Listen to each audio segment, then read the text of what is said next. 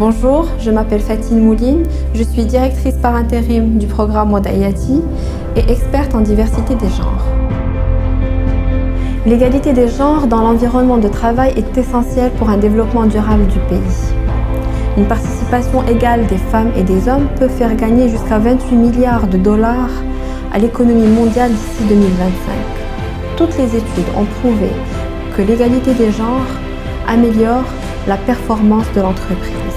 D'ailleurs, une entreprise qui compte au moins une femme dans son directoire affiche des résultats nettement meilleurs qu'une autre qui n'en a pas.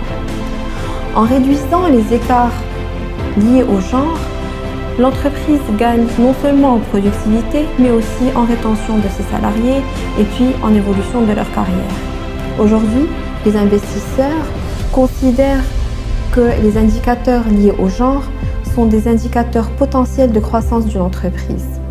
Mais malgré tout cela, des barrières économiques et sociales empêchent l'intégration des femmes dans le milieu professionnel et donc bloquent leur développement de carrière. Au rythme actuel, il faudra compter au moins 100 ans pour pouvoir arriver à une vraie égalité de genre.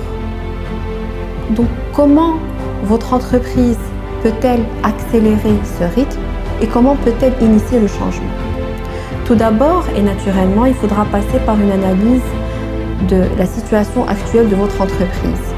Pour ce faire, MSI a mis à la disposition des entreprises un outil d'évaluation gratuit, convivial et purement sécurisé pour pouvoir assurer la confidentialité de vos données.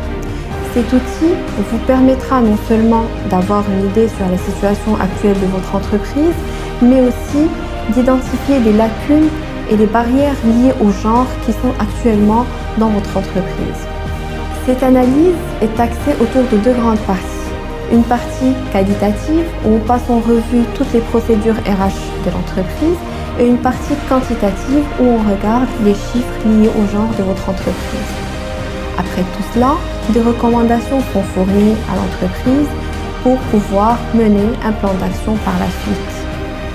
Donc si vous êtes prêt à être acteur du changement et à mener ce changement, commencez dès aujourd'hui votre évaluation. Visitez le site www.égalitégenre.com pour accéder à l'outil d'analyse.